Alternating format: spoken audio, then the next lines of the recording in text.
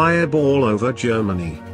A huge fireball lit up the skies above Germany, stunning residents as far away as the Netherlands and captured in a stunning video.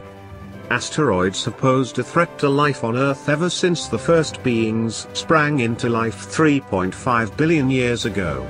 The most famous of all was the asteroid which hit 66 million years ago, bringing an end to the dinosaurs' reign on Earth. Every now and again we get a stark reminder of just how dangerous space rocks can be, and a stunning fireball which exploded over Germany and was visible all the way in the Netherlands.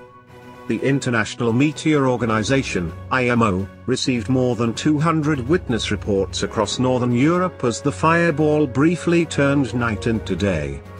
Some were lucky to capture the phenomenon of camera, with a video from a dash cam of a car showing a huge bright burst dropping almost vertically towards the ground.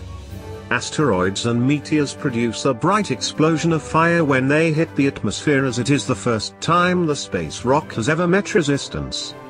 Air seeps into the pores and cracks of the rock, pushing it apart and causing it to explode. The IMO said, Fireballs are meteors that appear brighter than normal.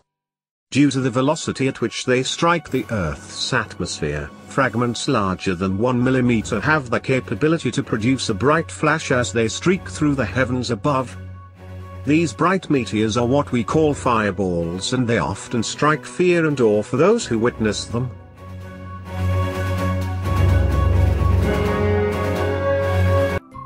Thank you for watching. Please subscribe to us on YouTube. If you like donate to us visit home on the page PayPal.